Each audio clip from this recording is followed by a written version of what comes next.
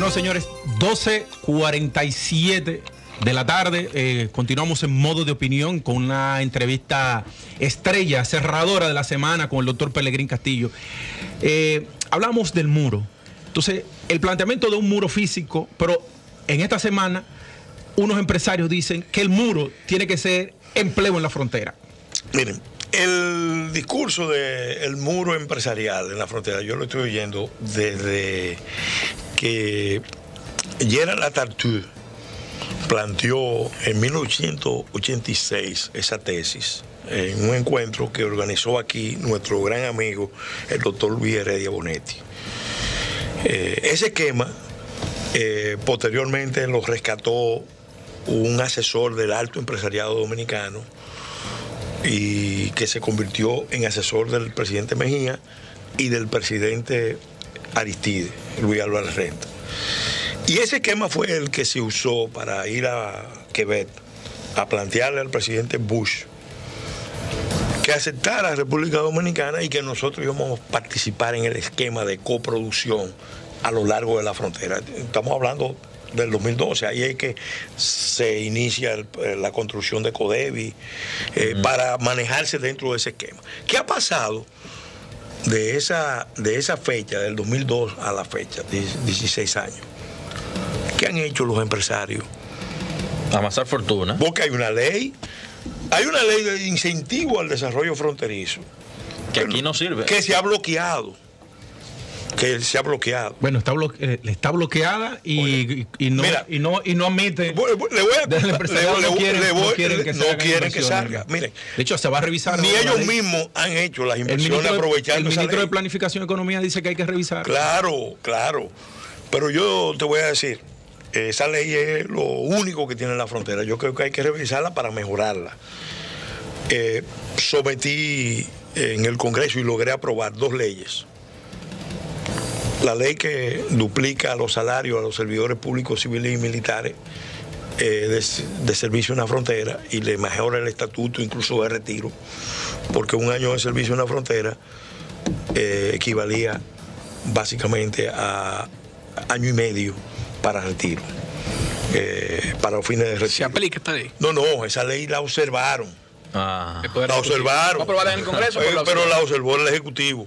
Después se aprobó el compromiso de una inversión de un 2% del presupuesto nacional por un periodo de cinco años para la reconstrucción de obras e infraestructura, sobre todo para integrar la frontera en el eje norte-sur. Eso también se logró, se logró aprobar por propuesta nuestra, también lo observaron. Una la observó Hipólito y otra la observó el presidente Fernández. Después, obviamente, yo apoyé la propuesta de los senadores de la frontera, de los diputados de la frontera, que era, porque yo fui el único diputado que no era de la frontera, que fue 20 años miembro de la, de la Comisión de Frontera. Por eso yo conozco bien la historia. Y, y sé que ese enfoque empresarial es lo que se está enseñando cada vez que hay una reacción del país de que hay que cambiar la relación en la frontera. La realidad es que la frontera, bueno, un poco de historia. Luis Álvarez Rente promovió ese enfoque y como yo lo veté, y los norteamericanos son muy cuidadosos, convocaron una reunión y un almuerzo. Vinieron gente del Departamento de Estado a una agenda amplia, pero ese fue un tema eh, de discusión. Y ahí yo le hice la observación. ¿Por qué yo objetaba que República Dominicana entrara con el DR Casta amarrado a Haití? A la gestión de eso. Y decía, porque Haití es un estado colapsado y todo el mundo lo sabe. Los primeros que lo saben son los Estados Unidos. Ahora, el problema del estado fallido tú no lo puedes resolver, tú no lo puedes enfrentar, tú no lo ni siquiera remediar. Y, y los hechos lo han probado. Ni siquiera lo puedes remediar con un esquema de esa naturaleza de desarrollo en la frontera. ¿Por qué? Porque eso necesita mucho más que eso. Entonces ahí discutimos muchísimo y uno de los temas que yo recordaba era que los haitianos tenían una reivindicación con apoyo de Estados Unidos y Estados Unidos a la cabeza, negando el derecho de República Dominicana a definir soberanamente quiénes eran los nacionales. Y que Estados Unidos había influido en la OEA, en la Corte Interamericana de Derechos Humanos, en las propias Naciones Unidas, para desconocer la soberanía de República Dominicana en materia de nacionalidad, de migración y de frontera. Y que por tanto nosotros no podíamos aceptar ese esquema, que la solución era precisamente internacionalizar la, la solución.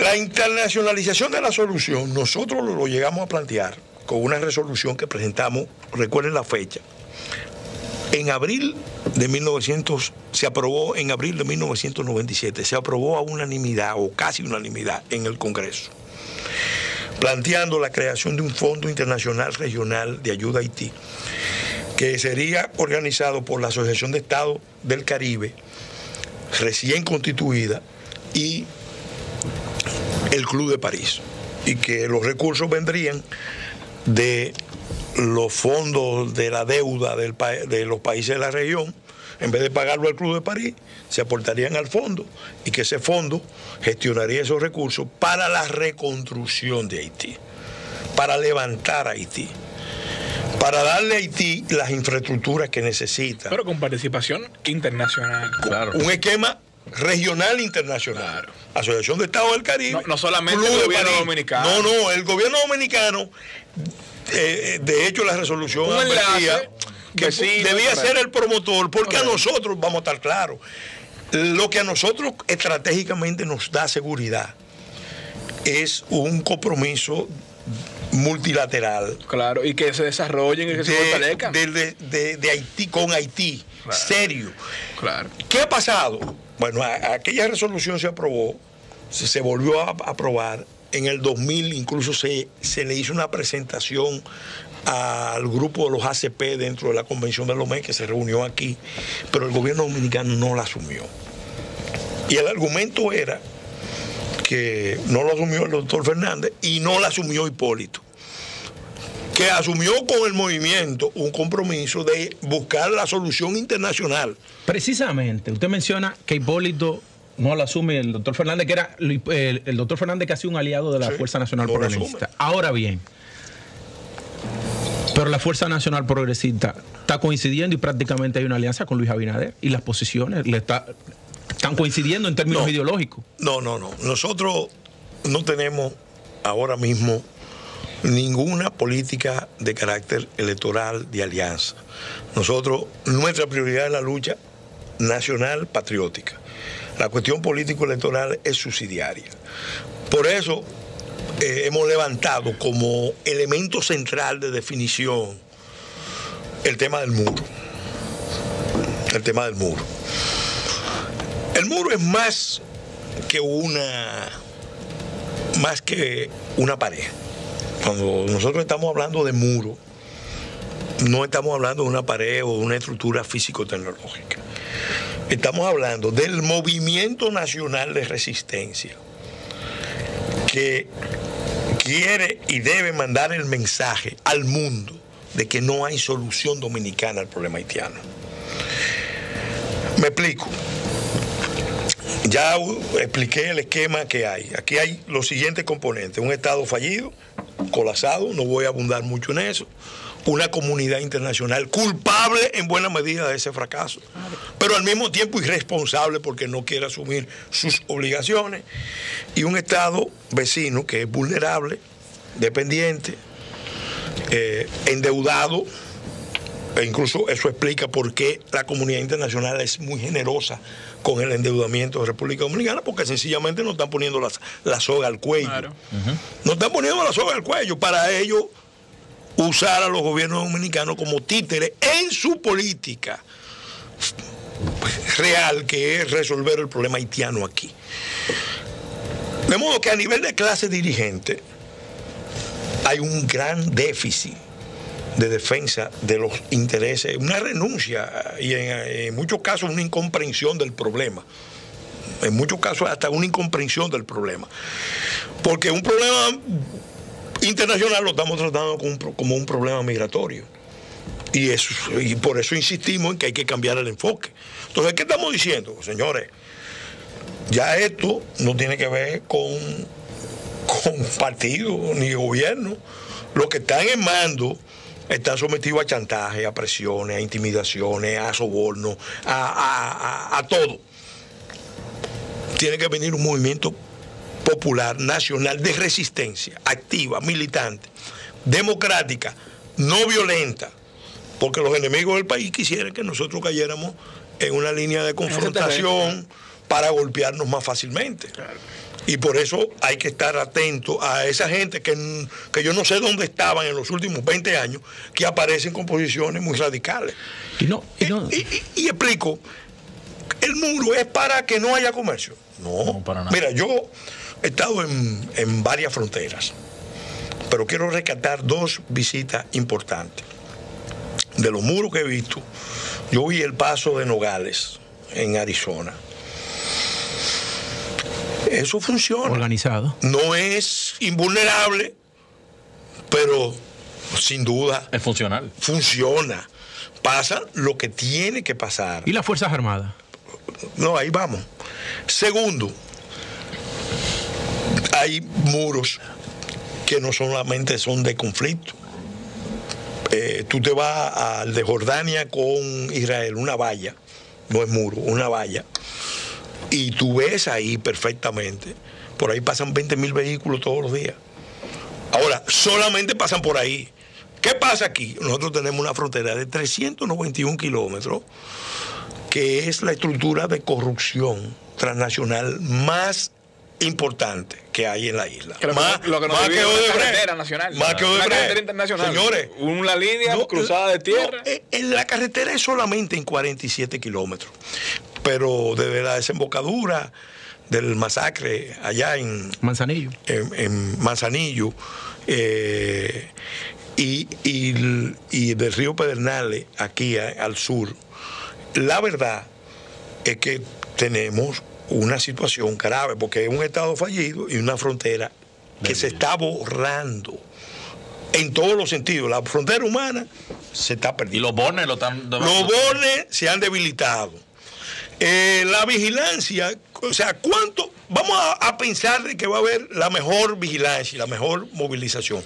¿Cuánto puede gastar el Estado Dominicano con una movilización permanente en términos militares? Todo el que sabe algo, y los militares lo saben, los militares dominicanos saben la importancia del muro. De hecho, eh, al gobierno dominicano se le han hecho varias propuestas de diferentes tipos. Claro, el muro no es suficiente, es el muro Es parte de la más una política de desarrollo fronterizo. Pero también el muro es un mensaje de que el país quiere que cambie la política exterior y que cambie la política interior.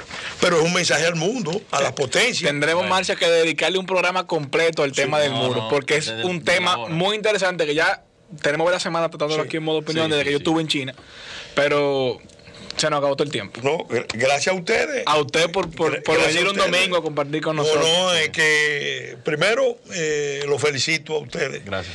por este espacio así de orientado a los jóvenes y con jóvenes que talentosos y al mismo tiempo este tema donde quiera que me reclaman eh, ahí estaré el viernes el martes que viene hay un debate en la Biblioteca Nacional el auditorio Juan Bosch a las 7 de la El noche. miércoles. El, miércoles, el martes, el martes. Vamos a estar. A las 7 de la noche. Eh, han conformado un panel un poco desequilibrado, eh, pero yo voy a ir. Bien. Eh, yo voy a ir porque vamos, vamos a hablar las cosas como... Lo primero es poner la verdad por delante. Y vamos a llamarle las cosas por su nombre. No es un Estado, no es un problema de migración. Es internacional. Es un problema internacional con implicaciones de seguridad nacional e internacional. Por eso, para, resu- No, resumir, por, por eso, para resumir, el mensaje que tenemos que mandar al mundo con el rechazo del pacto es que no hay solución dominicana al problema haitiano. Si firmamos ese pacto, el mensaje que estamos mandando es que nosotros, con esos parámetros que están ahí, vamos a hacer lo que vamos a gestionar la crisis haitiana. A seguir gestionando. Gracias, San Pelegrín Castillo. Nos vemos el próximo domingo en modo opinión.